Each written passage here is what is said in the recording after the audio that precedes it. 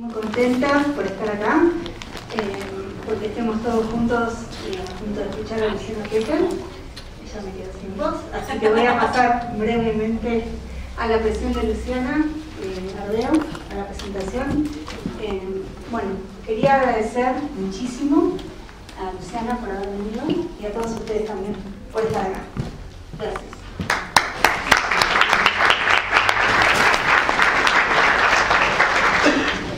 Bueno, eh, gracias a todos, a todas. Eh, gracias a Luciana por venir otra vez a Tandil, a la ciudad de Tandil, a presentar otro de sus libros. Gracias a Carolina Moules por gestionar que Luciana pueda estar acá presente. Y bueno, vamos a comenzar entonces con la presentación del libro. Luciana Pecker es periodista, periodista que hace dos décadas que es parte del suplemento feminista Las 12 de página 12. Es autora de varios libros, entre ellos La Revolución de las Mujeres no era solo una píldora y Mujeres Ferroviarias, experiencias de vida sobre rieles y coautora de Mujeres y Varones en la Argentina de hoy.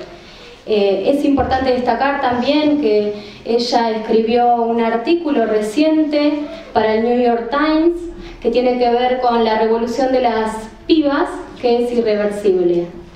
Eh, con respecto a este libro que viene Lu a presentar, que es Putita Golosa, eh, podemos decir varias cuestiones que tienen que ver con, es un libro arriesgado, un libro donde la palabra tiene una potencia impresionante para enunciar cuestiones que tienen que ver con el feminismo del goce, aludiendo a la intimidad, pero a la intimidad también como una cuestión política. Eh, en este libro aparecen cuestiones que tienen que ver con crónicas, ensayo, también tiene mucho de poético, donde ahí Luciana se, anima también a mostrarse y, empezar a politizar estas cuestiones, eh, donde una de las cuestiones fundamentales de, de este libro tiene que ver con plantearnos el deseo como el núcleo, el deseo como el núcleo del feminismo y empezar a pensar a ver qué pasa en relación a ese deseo, eh, cómo tenemos que hacer como mujeres para revalidar ese deseo que muchas veces, lamentablemente, con todas las conquistas que hemos tenido como mujeres, eso lleva a un recrudecimiento de la violencia machista, eh, con lo cual ese deseo hay que, hay que despatriarcalizarlo, descapitalizarlo también y empezar a pensarnos, digamos, y reinventarnos en esta revolución que nos convoca.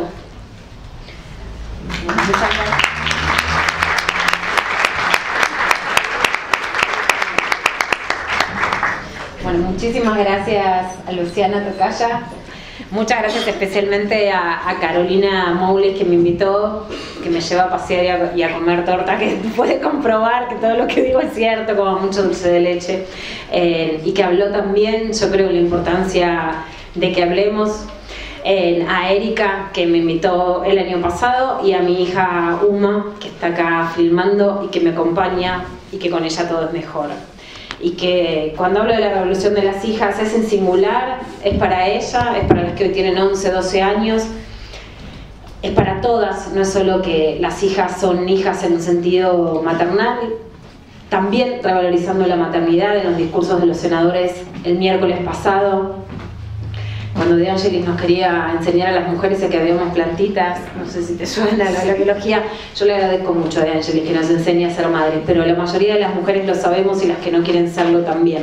No necesitamos ver plantas, mucho menos con glifosato que sepa De Angelis, mucho menos, no tiene nada que enseñarnos. Eh, y lo que les quería decir era que, bueno, que en el Congreso yo dije, todas fuimos criadas con algún con algún hilo de sombra sobre nuestra sexualidad, sabiendo que tener sexo podía ser sinónimo de morirnos. A mí me lo dijeron literalmente, me lo dijo mi mamá literalmente. Eh, mira, vos podés tener sexo, puedes hacer los bravos, pero lo que pasa es que si te haces un aborto es clandestino, RH positivo, no sé qué pasaba con la sangre, había un lío ahí que nunca entendí, no llego a decodificarme ahora. Como es clandestino, te podés morir.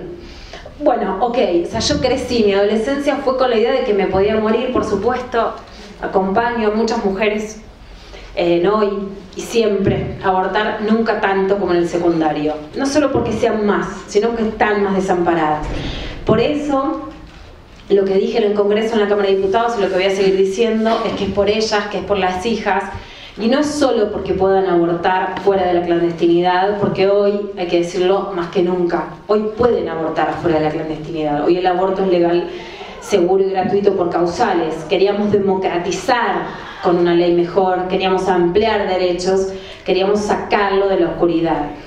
El año pasado, de hecho, cuando, cuando vine a Tandil, eh, me acuerdo perfectamente que una de, los, de las charlas con Liliana, eh, fue justamente que durante mucho tiempo se sabía que en Tandil, como en tantos otros lugares, había médicos que de forma privada, como médicas que de forma pública, hacen abortos. Básicamente porque en la Argentina el aborto es legal por causales, es legal sotoboche. Las causales además son muy amplias.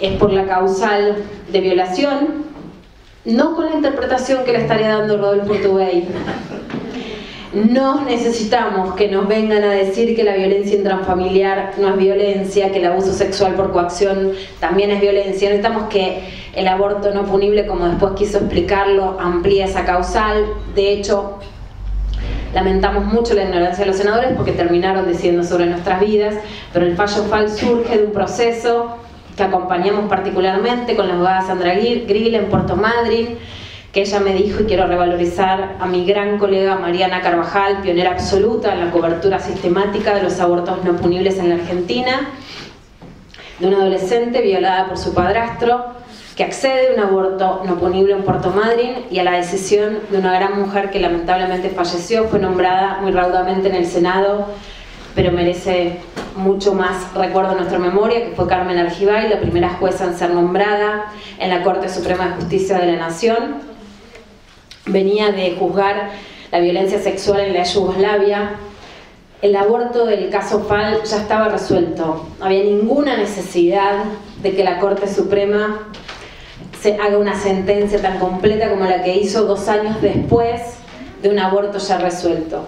Fue una decisión absoluta de Carmen Argibay, una decisión política de la Corte Suprema de Justicia de la Nación que en ese momento y en esto sí diciendo con lo que dijo Pichetto de que hoy la Corte podría hacer algo más, no hay nada superador al fallo FAL y mucho menos se lo dejaría la composición actual de la Corte. La Corte no podía, digamos, lo que era seguro que si la ley se aprobaba iba a haber alguna amparo de inconstitucionalidad, la Corte no hubiera podido decir nunca que era inconstitucional la ley de aborto legal, seguro y gratuito cuando está el fallo FAL que ya con las causales lo deja abierto. Sería totalmente ridículo decir en este caso sí, en este no, algo es inconstitucional. Más allá después de la técnica jurídica, la Corte no hubiera podido fallar la inconstitucionalidad, los sectores antiderechos hubieran llegado a la Corte, pero hoy la Corte ya no tiene nada más que hacer. Lo que hizo la Corte fue por mandato de Carmen Aljibay decir que el aborto es legal por causales, no solamente dejar el código de 1921, sino actualizarlo pedirle a todas las provincias que tengan protocolos y pedirle a la nación, que si bien nunca fue rubricado, ni en el kirchnerismo, un enorme error político, la mayor deuda política, no solo no legislar, sino no haber puesto la rúbrica a ese protocolo, sino que hoy es y sigue existiendo un protocolo que amplía absolutamente derechos y que avala absolutamente que el aborto es legal en la Argentina. Por eso Después de, por supuesto, lo que es un fracaso político clarísimo e indisimulable, no se puede decir acá no fracasó nadie. Acá ganó la pulseada de los sectores reaccionarios, conservadores y por sobre todas las cosas la presión directa del Vaticano en la Argentina, en el Senado de la Nación. Pero ante ese fracaso no se puede eh, conformarse con que nadie venga a proponer una ley que esté por debajo del fallo FAL y del protocolo del Ministerio de Salud de la Nación sobre interrupciones legales del embarazo. Es por nuestras hijas, no solo porque son el futuro, sino porque algo que dice el libro y fue gracioso, acá Carolina también me lo comentaba, en el discurso de Pino Solanas, a mí particularmente me, me gustó mucho, fue un discurso que me gustó, eh, pero Pino empieza a decir, bueno, es el goce, señora presidenta. La señora presidenta era Gabriela Michetti, que después festejó, dijo, vamos todavía cuando se terminaron los derechos de las mujeres, que avalaba a su propio hijo. pero bueno, para ella el goce fue que las mujeres perdamos una oportunidad histórica de derechos. Para nosotros el goce es el goce. Yo creo sí que la ley discutía sobre el acceso claro al aborto legal, seguro y gratuito, pero que la ley venía a decirle a las mujeres que ya su goce no tenía que tener la sombra encadenada del miedo a morir, a quedar infértiles, a ir a la clandestinidad, a sufrir, etc. Ningún varón tiene sexo. Con esa presión, por supuesto, también tienen que cuidarse enfermedades de transmisión sexual y otras situaciones en donde el sexo tiene que, ser un sexo cuidado.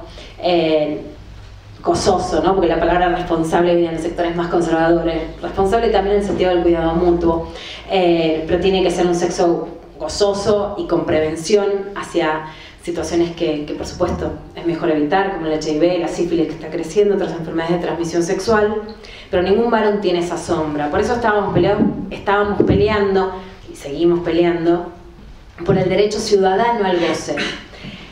Sin lugar a dudas, en la sombra que, logró el triunfo en el Senado en, la, madrugada de ese, de ese 8A que se convirtió en, 9A. Lo que primó fue la doble moral de la política. Eh, yo creo que no es tiempo de callarse o de ser evasivas, porque justamente la argumentación ya no era sobre el aborto legal, seguro y gratuito. Incluso me sorprende mucho cómo transversaron de tal manera cifras de salud pública tan claras. O sea, no eran los argumentos lineales, sino los metaargumentos. Eh, por ejemplo, cuando Adolfo Rodríguez Sá dijo que él votaba según sus convicciones religiosas, que no tenía vergüenza. Yo no sé si acá hay alguien de, mi edad, ¿no? alguno hay. ¿Alguno se acuerda de Adolfo Rodríguez Sá, de sus convicciones religiosas? ¿No? ¿Saben ¿Te lo imaginas, Adolfo Rodríguez ¿Saben de lo que estoy hablando? Estoy hablando de políticos que fueron encontrados en albergues transitorios en su provincia con escándalos sexuales, que yo no juzgo, no sé ustedes, yo no. Para mí, yo no voto a un político, un gobernador, un presidente de la nación por si tiene sexo o no en un albergue transitorio o en su vida privada.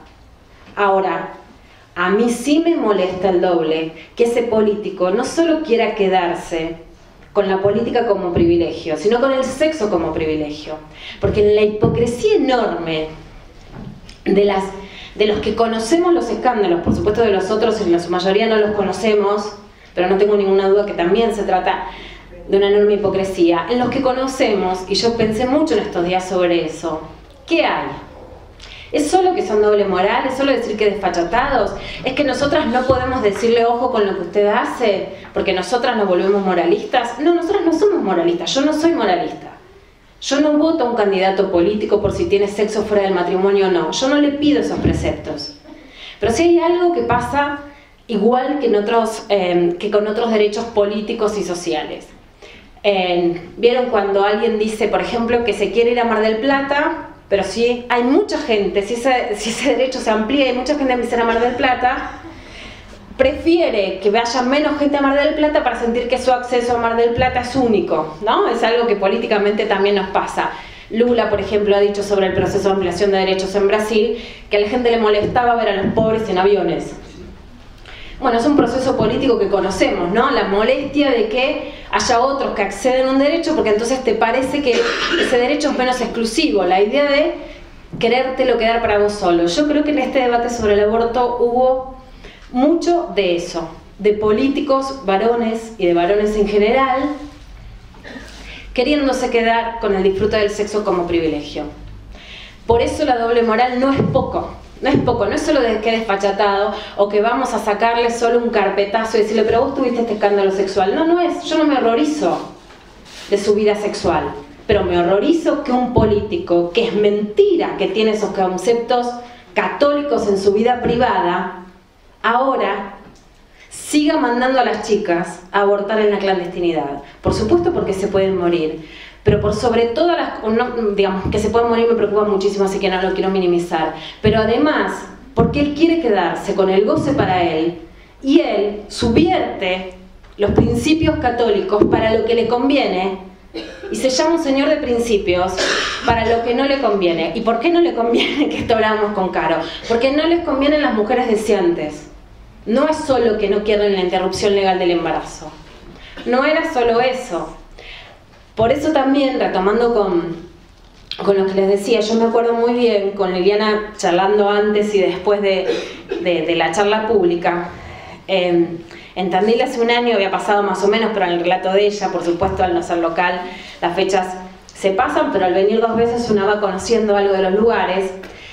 Si dejábamos que el aborto legal siga siendo sotoboche o no, ¿por qué? ¿Por qué era legal sotoboche? Una puede ir a un hospital y acceder a un aborto, básicamente porque en la Argentina la causal más importante es la causal salud, por lo que cualquier mujer que sienta que su embarazo puede traerle problemas de salud, tanto en el sentido físico, que hay muchas razones, y basta leer a Estela Manzano, cualquier problema físico de los muchos que nos traen los embarazos, o cualquier problema psíquico, que es el más importante, por ejemplo una depresión, puede acceder a un aborto legal por causales. Es muy importante también entender que en casi toda Latinoamérica, salvo en Nicaragua y El Salvador, también el aborto es legal por causales. Pero en Argentina es donde existe la causal salud. Por ejemplo, para darles un dato muy concreto, esto no existe en Brasil o en Chile. Por lo tanto, cuando es por causales, en muchos casos son causales más cerradas. En Argentina es por causales amplias y el fallo FAL realmente hace que sea para todos los casos. Para todos los casos es igual aborto legal, seguro y gratuito. ¿Para qué peleábamos la ley?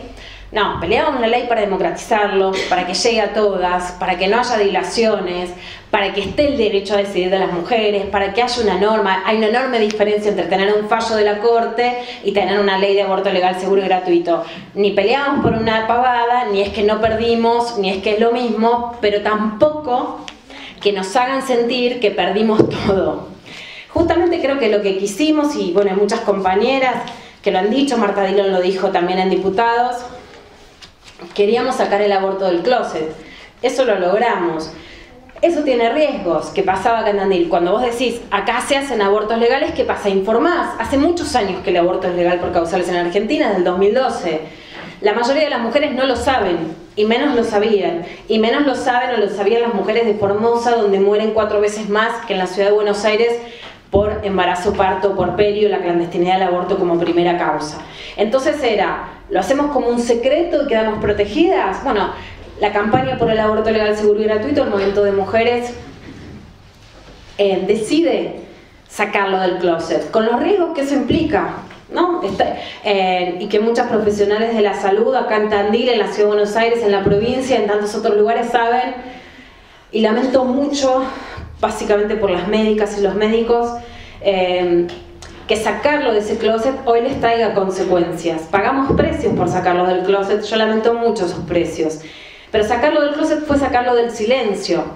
Lo que ahora también me interesa es que eh, una vez que la ley está perdida y que el proceso legislativo, si bien yo creo por supuesto que hay que seguir peleando por la ley, pero sí decir hoy claramente que el aborto sigue siendo legal por causales. Queríamos mucho más que esto. La Argentina es un país que estaba para mucho más que esto, pero no tenemos que perder lo que ya tenemos. Bueno, les voy a leer un pedacito de la parte de, Potita Golosa donde hablo eh, del aborto para relatar algo de, todo lo que pasaba. Me quiero matar, dijo Aje cuando tenía 15 años y se enteró de que estaba embarazada después de haber sido violada por su padrastro. La justicia la tuvo cuatro meses dando vueltas con expedientes y una gestación que la hacía portadora de la violación en Comodoro Rivadavia, Chubut. El 13 de marzo del 2010, en el Centro Materno Infantil de Trelew, la médica Estela Manzano realizó la interrupción voluntaria del embarazo, con el respaldo de una sentencia de los jueces de la Sala Civil del Superior Tribunal de Justicia de Chubut. Siempre se dice que el posaborto es traumático, pero la niña, gracias a eso, pudo volver a su vida feliz. Ella no carga con ningún trauma por el aborto, sino por la violación, contó la abogada Sandra Elizabeth Grilly, quien defendió a G y remarcó que consiguió apoyo gracias a la cobertura pionera de Mariana Carvajal en página 12.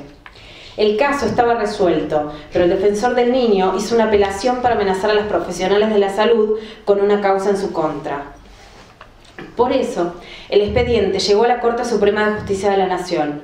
La Corte se podría haber desentendido con un aborto ya practicado. Hubo decisión de dejar un mandato y hacer respetar un derecho.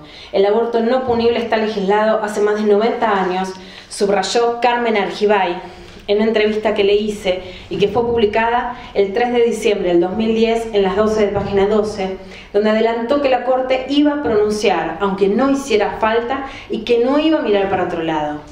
El fallo FAL, por las siglas de la madre de AG, se conoció el 13 de marzo del 2012 y fue producto de una decisión histórica que probablemente no se volvería a repetir con la conformación actual de la Corte de un tono mucho más conservador.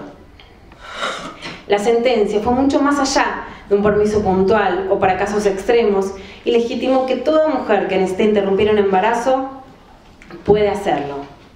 El aborto en la Argentina es legal por causales, igual que en muchos países, como España antes de la reforma del 2010, y como Brasil y Chile, después de una gran pelea de Michelle Bachelet que dejó la presidencia con ese logro, pero con causales más amplias que en los países limítrofes. En la Argentina el aborto es legal si hay violación, si el embarazo es inviable, si corre riesgo la vida de la madre y también si afecta la salud en un sentido físico o psíquico. Por lo tanto, si una mujer siente que continuar con el embarazo le produce depresión, se alcanza. La diferencia con el imaginario es que no se realizan operaciones en camilla, sino que se receta o se da la medicación en abortos a través, mayoritariamente, aunque no solo, de misoprostol. Y si hay algo que además se vio en la discusión sobre el aborto legal, seguro y gratuito que está íntimamente ligado con el goce, es que una y otra vez, de manera directa o indirecta, nos dijeron a las mujeres que cerremos las piernas.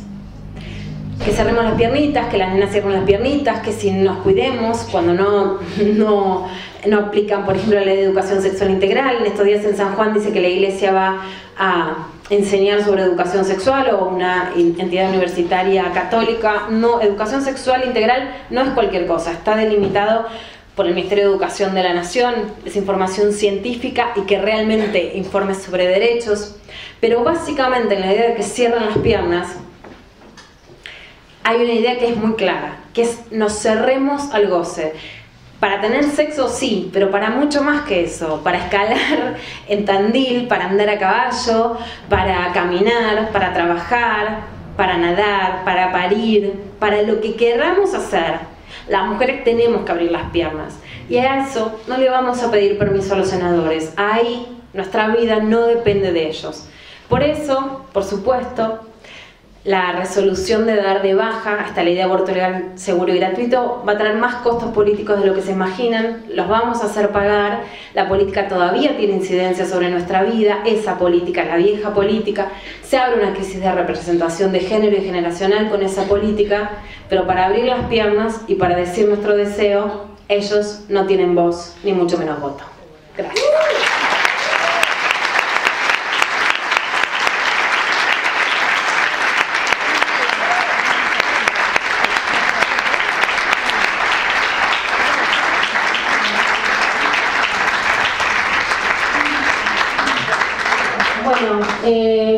Aprovechar esta oportunidad para abrir también a las preguntas que tengan ganas de hacer y dar la posibilidad del intercambio.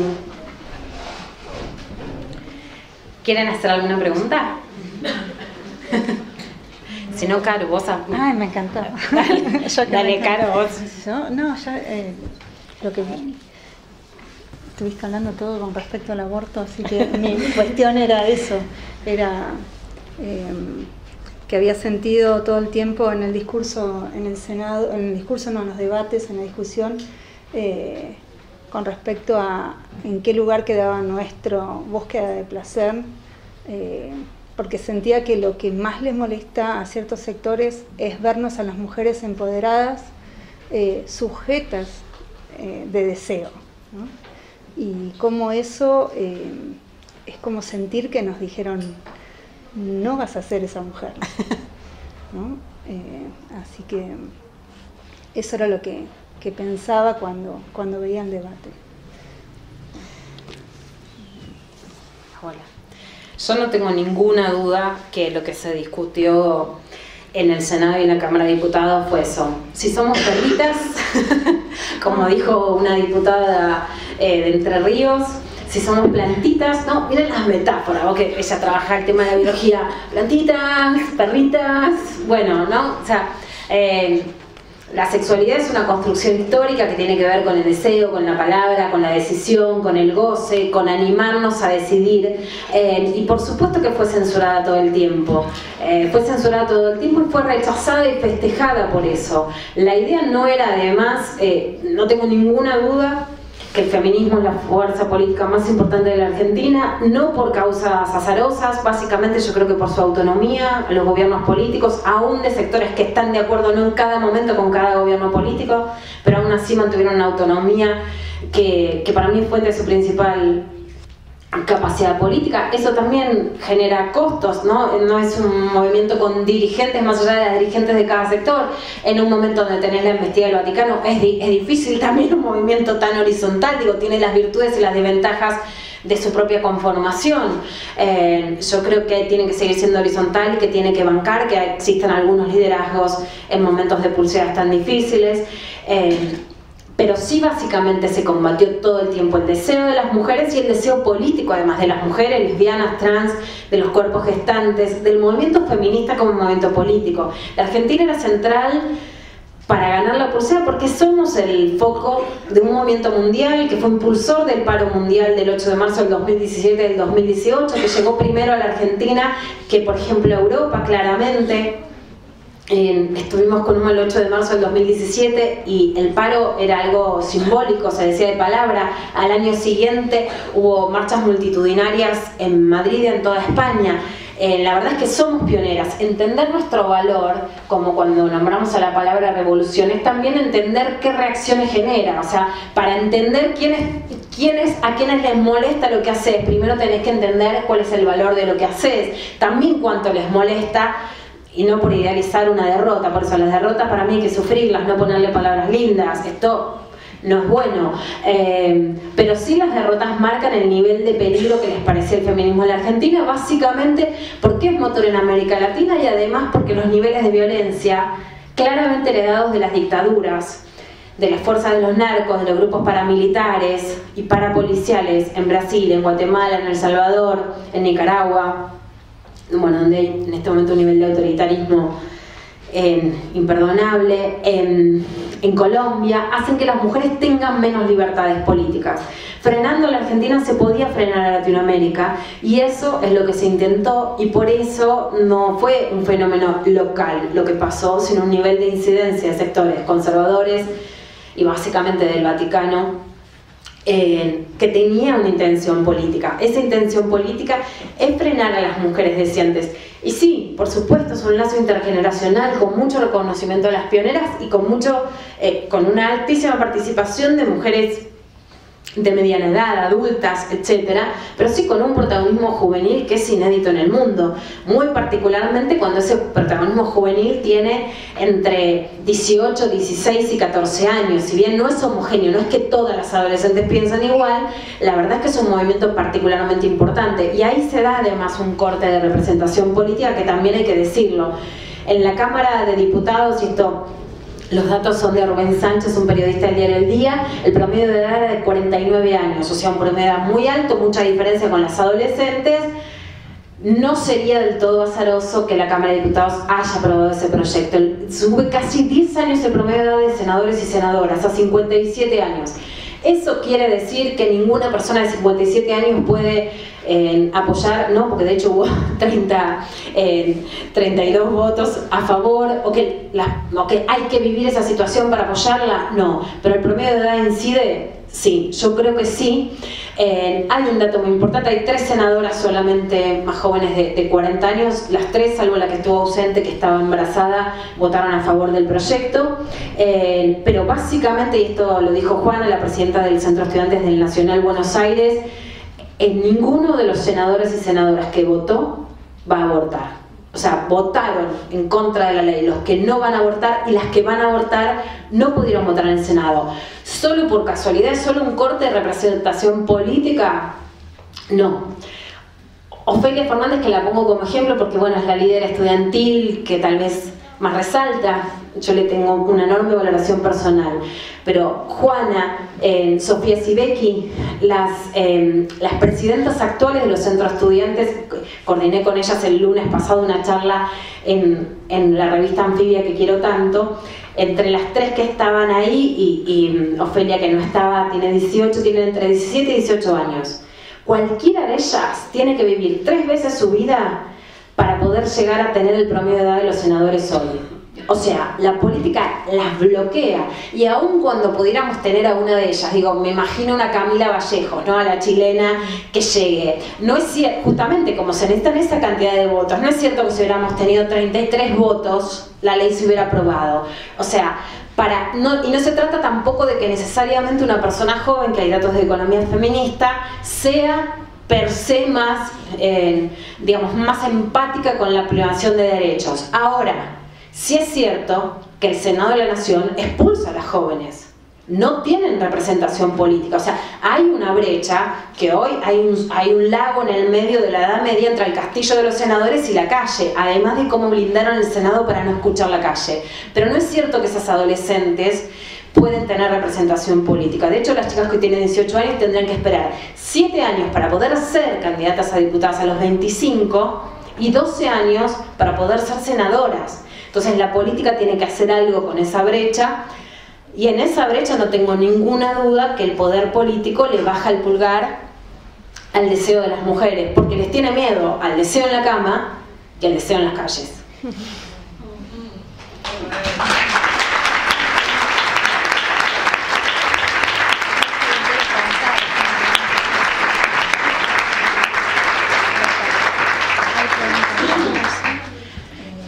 ahí quieren preguntar, porque tenemos poco tiempo, la feria nos tiene cortitas con los tiempos, así que apurémonos y que no nos arrebaten. Eh, Luciana, gracias por la alegría y la claridad. ¿Cómo perdonamos a nuestras madres en esta lucha, en la medida en que sabemos que fueron quienes eh, reprodujeron el patriarcado mucho más que nosotras como madres, y que muchísimas cosas quizá no hablaron, y ni siquiera hablaron de sus abortos, y quizá por eso la transmisión también puede haber sido tantas veces, el sexo te puede matar. ¿Cómo las perdonamos en la lucha? Bueno, no sé si soy la especialista en perdonar, chicas, están pidiendo mucho.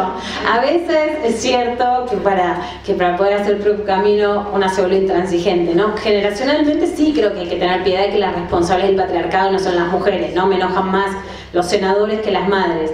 Y sí creo que de este proceso una de las cosas más hermosas eh, fue la cantidad de madres y abuelas contándole sus abortos a sus hijas. ¿Por qué más hermosas? No porque sean situaciones idílicas, sino porque realmente se abrió la conversación. En, el taller de anfibia, el martes pasado, en una periodista contó de una abuela muy conservadora, muy coqueta, muy la señora que va a la peluquería con las chicas y se la encontró en la marcha de casualidad a la abuela que eh, le contó por primera vez la situación de aborto a su nieta a ella hace 15 días. ¿No? Y como, por supuesto, tenía muchos hijos, como la mayoría de las mujeres que abortan, y esto se ve en los monitoreos de socorristas en red, el 58% son religiosas, cristianas o evangélicas, y también 6 de cada 10 ya es madre, ¿no? En contra de Angelis, que se creen que la plantita, un ser madre es, bueno. Eh, Sí, sí, que ninguna de las mujeres en la Argentina sabe ser madre, entonces no tienen que venir a explicar, la criada se quedó corta, eso es lo que no sabían, ¿no?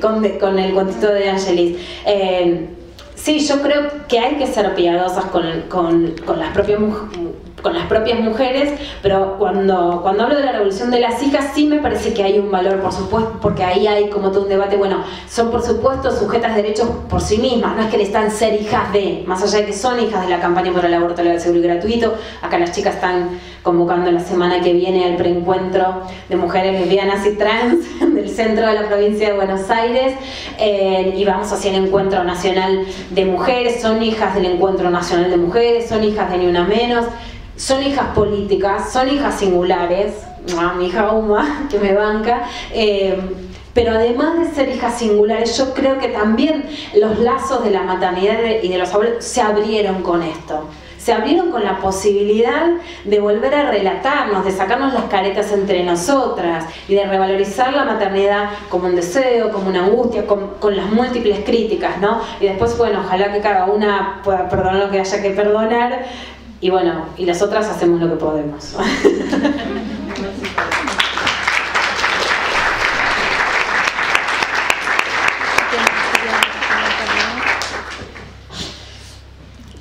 Ahí.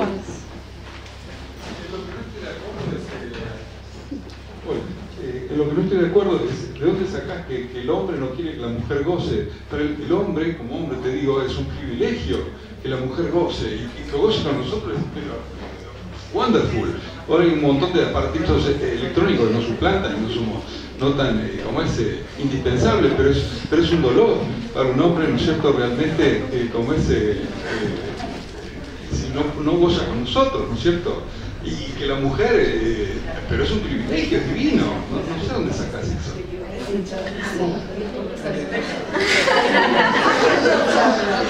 Si te cuento dónde lo saco, te va a resultar un poco perturbador.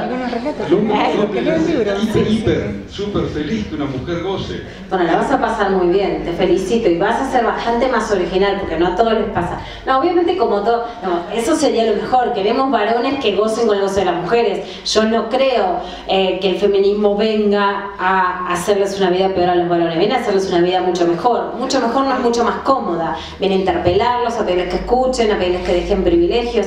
Yo creo sin ninguna duda que un varón tiene que gozar más frente a mujeres que gozan. No hay ninguna duda tampoco, porque no es que no es que nacimos ayer o escribimos de la nada, sino que hacemos periodismo de hace 20 años. En la, violación que conocimos en esta semana, estuve escuchando el relato del sábado en C5N, entre otros lados, cuando un varón viola y le dicen, ahora vas, a, ahora, vas a, ahora vas a tener esta violación como castigo por estar en la calle. Ese es un discurso que se repite una y otra vez. En el libro hay muchos relatos sobre los femicidios a las mujeres que, que desean. Melina Romero, Araceli Fules.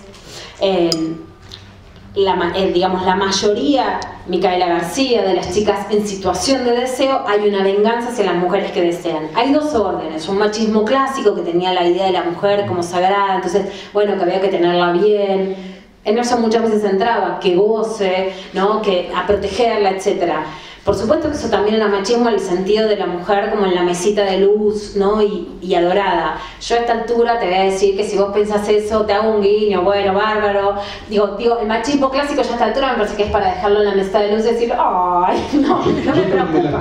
que más erotizan un hombre es el goce de la mujer. Eh, cuando vos ves que una, lo, hace automáticamente es una cosa pero horrible, es espantoso para un hombre y, y no hay cosa más des- des- des- deserotizante que eso. Bueno, si sucede eso, por supuesto que bueno, ¿en qué sentido? Es bueno, digamos, los varones que gozan del deseo de las mujeres, eso es algo bueno. Hay mujeres que ya no solamente gozan con el varón, sino que gozan de muchas otras formas y saben qué pedirle. Y frente a ese feminismo, o esas mujeres, esas jóvenes mucho más potentes, hay varones que no les pasa eso, o que imponen a través de la violencia, o que imponen también a través del destrato, que es todo otro camino que abre el libro, y que no hay ninguna duda de que frente al deseo de las mujeres, tanto los indicadores de violencia como la cantidad de textos en las redes sociales y de muchas autoras, entre las que está Carolina, que, forman parte de las líneas de este libro, bueno, hay una enorme sensación de, la- de las mujeres, de varones que les cobran el precio a- al deseo. Entonces, y también, digamos, cuando, cuando decís de dónde lo saco, bueno, de una escucha, ser periodista durante 20 años lo que te da por sobre todas las cosas es mucha escucha, ¿no? Es la enorme cantidad de relatos de todo tipo y factor que escuchás durante mucho tiempo y en el que sin ninguna duda la sensación es todo el tiempo hacernos pagar el precio del deseo, ¿no? Por supuesto, yo creo que vamos hacia algo que, que existió, que existen algunos, que existió más en algún momento, en donde incluso las mujeres tal vez eran menos amenazantes, entonces en los 70, donde se compartían a lo mejor más valores políticos, o sea, de la, de la casa para afuera, de la unidad básica para afuera, de la, no, de la clandestinidad para afuera, eh, pero que no se interpelaban los temas de género, tal vez sí. Bueno, había contratos menos rotos porque hoy las mujeres interpelan en todos los lugares donde están, en los trabajos, en los partidos políticos, en las agrupaciones sociales, en la mesa de las casas. Hoy las mujeres se interpelan. Hay que bancarse esa interpelación de lo que interpelan las mujeres. Eh, cuando vos, por ejemplo, decías lo de las madres, hoy los varones también tienen un enorme problema con cómo los educaron, con sus propios padres, ¿no? Eh, que es difícil bancarla, es difícil bancar, ¿no? Bajar los cuadros. Un, compañero escritor me decía esta semana bajar los cuadros. Es difícil bancar, bajar los cuadros. Yo creo que las mujeres lo que pasa es que en todo caso está bueno lo que decías porque es bajamos los cuadros y ya perdonamos a quienes las, baja, bajamos, eh, pero una cosa es perdonar y otra cosa es no haberlo bajado. Las mujeres hace muchos años que estamos en un proceso de cuestionar las raíces de cómo nos educaron. Bienvenidos los varones que quieran bajar los cuadros, de construirse y por supuesto gozar más.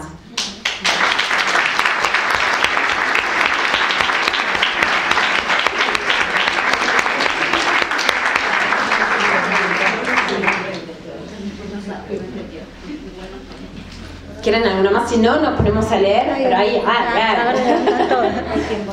Ah, bárbaro. Entonces, eh, no, te quería preguntar si pensás que la eh, te quería preguntar si pensás que la separación de la Iglesia y el Estado puede despojar a la Iglesia Católica del gran poder de lobby que tiene en este momento la clase política, que si bien es una institución que está en una crisis de representación, sí demostró su gran poderío de lobby en este momento. ¿Te parece que es un paso fundamental, que quizás sea primero la separación de la Iglesia y del Estado antes que la legalización del aborto? ¿O qué puede pasar con eso? Y bueno, así como nosotras pagamos el costo de sacar el aborto del sotoboche a que hayan rechazado la ley, la Iglesia, al ser, eh, digamos, la, gran ganadora del 9 de agosto, ni siquiera fue la Iglesia, fue el Vaticano. Eh, eso sin lugar a dudas. Para mí el discurso que les recomiendo, la nota que escribí en las 12 esta semana, es el voto de Francisco, fue el voto que ganó, es el voto 39 y el voto definitivo. Hay que saber una cosa, hubo una presión sobre senadoras, senadoras, diputados y diputados, diarios y canales de televisión, como no lo hubo nunca en democracia. Hubo una presión antidemocrática, antidemocrática. Para mí la ley es antidemocrática cuando Ernesto Martínez para mí es el discurso que más me gusta, el que me parece más claro, si lo quieren leer o profundizar, lo escribí en esta nota en las 12 de página 12 y lo pueden buscar por YouTube el discurso del senador, cuenta los niveles de presiones que sufrió, que se baja eh, del auto con su hija en el colegio de abogados y que tenía una esvástica. Ahora, él lo cuenta, el voto igual a favor del proyecto, y los que no lo cuentan y cambiaron su voto, Gabriela Michetti dice, me solidarizo con usted. No es una cuestión de solidaridad, es que el Senado tuvo presiones que son ilegítimas y hubo más presiones de las que se dicen. Entonces, para mí sí, está bien, el Vaticano y la Iglesia se juegan todo por el todo, lo ganaron. También ellos ponen en debate esto, porque hoy eh, una cosa es la fe y otra es el poder. La fe no solamente es respetable, sino que para mí es un valor las mujeres que abortan tienen fe en, 11.000 abortos que acompañaron a socorristas en red en el monitoreo que presentaron este año, el 58% son religiosas. Ese es un valor. Cuando la fe se usa como forma de poder para mantener sumisas a las mujeres y a la clase política, para mantener que no haya cuestionamientos en el Vaticano, el Papa Francisco decía hace dos años que autorizaba a los sacerdotes a perdonar a las mujeres que hayan abortado. ¿Qué pasó? ¿Qué? después de que se aprueba en junio el aborto legal seguro en la, en la Cámara de Diputados, en, en, Roma tiene que decir a los dos días que el aborto era igual al nazismo. Entre perdonar dos años atrás y ahora, ¿qué le pasó? Bueno, le pasó que se aprobó, que tuvo media sanción una ley en Argentina, entonces estamos jugando ese juego. Sí, yo creo que por supuesto, digamos, hay tradiciones que las podíamos cuestionar antes y cuestionar ahora. Ahora, cuando el poder político de la Iglesia, él va a la casa de la madre de un senador y le tira volantes, al colegio de una hija de una diputada y le muestra fotos horrorosas y las amenaza, nos vuelve a poner en eje de volver a discutir este tema. Por supuesto que sí.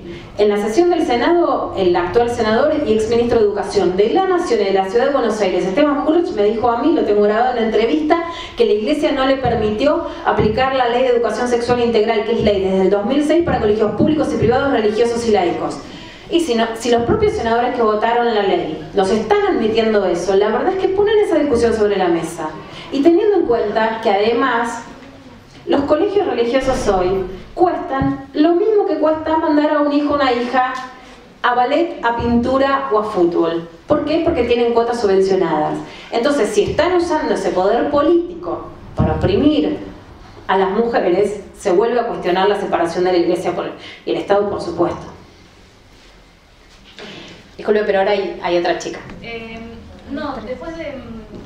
Tiene un poco que ver, pero este proceso de secularización eh, que parece casi imposible, a, corto plazo parece casi imposible, eh, y con, con, la dificultad muchas veces en la implementación de la CESI en, los procesos, las instituciones educativas, ¿cómo te parece que, que, sigue la lucha?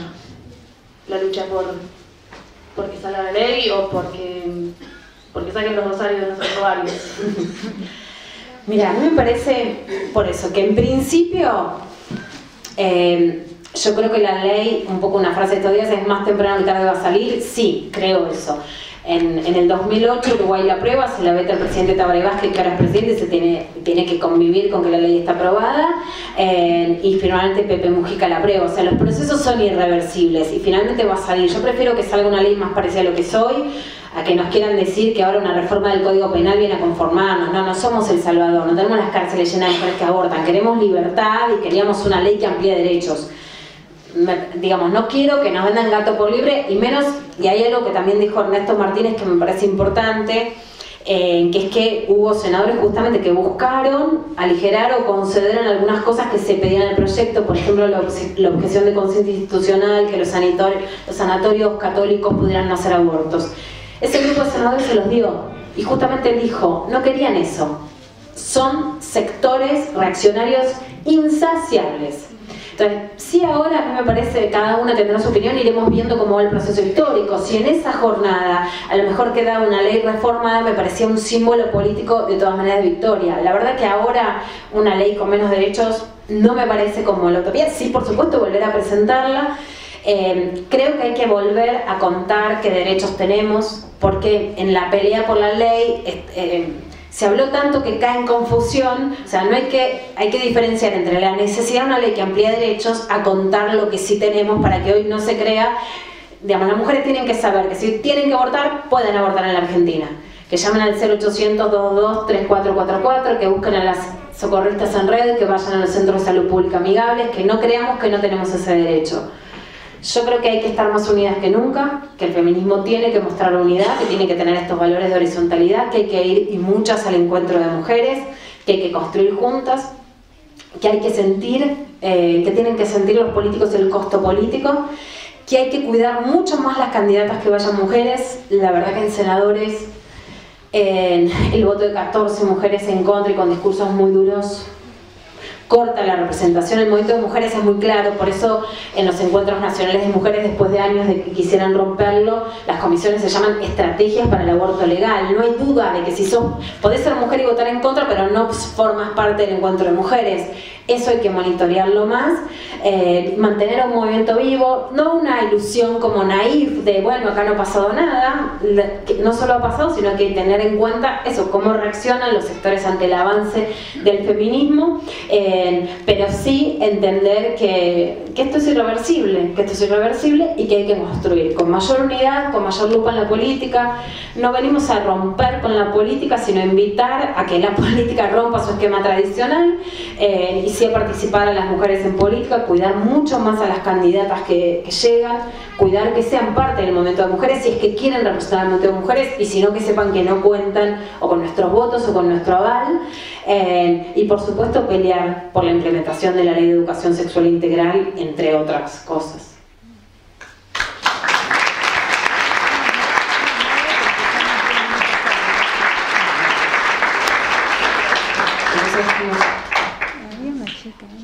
A ver.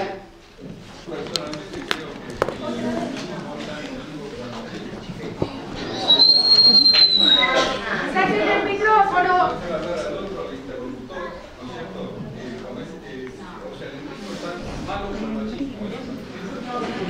Bueno, vamos a hacer una cosa. Nadie que habla de embrismo somos feministas, así que no vamos a, generar confusiones. Si alguna chica quiere contar algo más,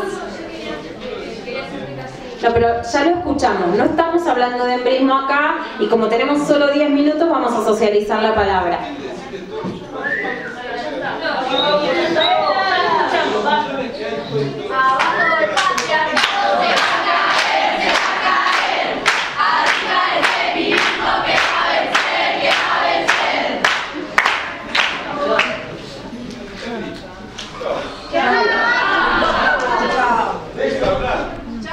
Sí, los chicos. Bueno, sigamos hablando. Bueno, eh, ya, ya, ya lo escuchamos al señor, así que vamos a seguir con la, con la, la pregunta de la compañera. No, eh, justo cerraste, digamos, lo que yo quería saber eh, con la pregunta de, de mi compañera. Eh, ¿Cómo seguimos, no? Como mujeres, como madres, como hermanas, Yo en lo personal no quiero ver a ninguna amiga más desangrándose dos semanas por haberse hecho un aborto clandestino. Eh, ¿Cómo seguimos apoyándolas? ¿Cómo seguimos con, con todo esto, no? Sí, yo creo que el mayor problema en relación a, los abortos clandestinos no, no, es solamente que no exista la ley. ¿Por qué? Porque ya el aborto es legal por causales. Sí, me preocupa mucho el envalentonamiento de los sectores conservadores. Hay que fortalecer a los equipos que acá los tienen de las profesionales de la salud, eh, que sean amigables, hay que hacer mayores lazos, creo que hay que fortalecer más allá del grupo, a los grupos similares a las socorristas en red, saber que la línea de salud sexual del Ministerio de Salud, se los vuelvo a repetir, es el 0800-22-3444, existe, eh, saber que más allá del proceso orgánico ninguna mujer se tiene que desangrar en el sentido de, como nos han mandado a las que abortamos o a las que perdimos un hijo, pues lo que, lo que tiene que quedar muy claro es que acá hay una demonización de las mujeres, de las que abortan y de las que no abortan, de las que queremos ser madres y de las que no quieren ser madres. Eh, entonces yo lo que creo por eso es que es tan importante que, que las mujeres entendamos que hay, que volver a revalorizar lo que tenemos, que no nos hagan retroceder y si salimos de la clandestinidad decir que existen esas redes.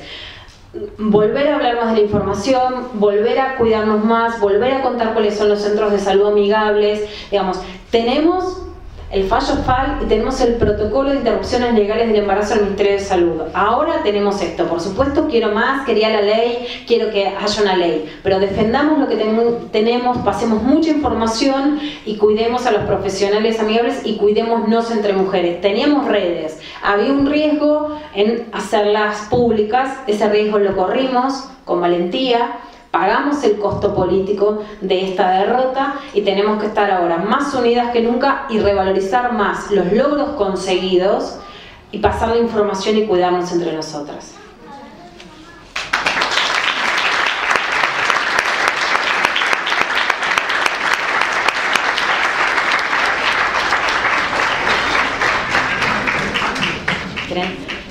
Bueno, vamos a, les quiero leer para, para ir finalizando, pues decime cuánto tenemos.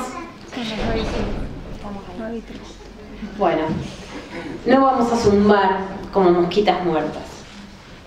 Joden las mujeres que desean, joden las que escriben, las que dicen, replican, invitan, no se conforman, no esperan, no callan.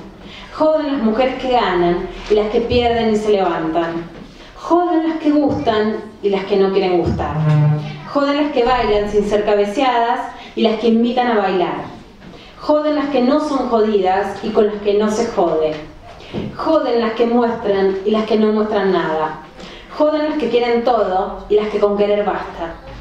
Joden las que plantan sus pies y su culo como un norte en donde el cuerpo es tsunami sobre las propias rodillas que no se quebrantan, con las caderas como el medio de elevación al paraíso propio. Joden las que se ponen en aguas, las que se desvisten. Joden las que no piden nada las que desbordan de peso sobre sus hombros en una ficción de maravilla mujer, sin lazo enlazada las tetas de estrellas petrificadas. Joden las que invocan el aro, las que esquivan la patada, las que suben la pelota, la paran, las que dicen lo que le dicen, que se las baja, las que gritan y las que jadean con el polvo naranja sin dejar la cancha. Joden las que hablan con rodeos y hablan aunque los megáfonos se apaguen para dispersar la marcha.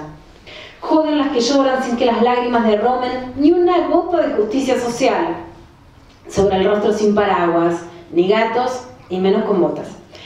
Joden las que duermen con compañías móviles sin que cuelguen de hilos y las que anhelan dormir abrazadas sin sombras enlazadas. La confianza robada en los eufemismos del porno, extinguidor del deseo y la promesa extinguida de los cuerpos palpables. Joden las que son desagendadas del timbre de recreo y mutiladas por las fechas de vencimiento del yogur y las expensas. Joden las que comen y dejan para el final la lengua filosa sobre el copito.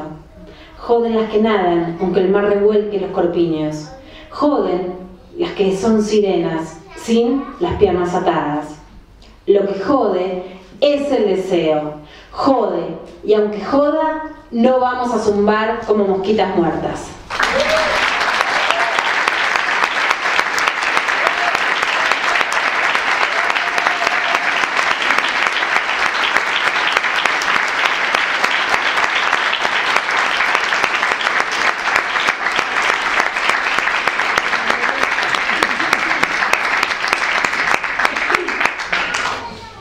Eh, bueno, para quienes quieran tener el libro, está en el stand de Librería Alfa y va a haber una mesita acá.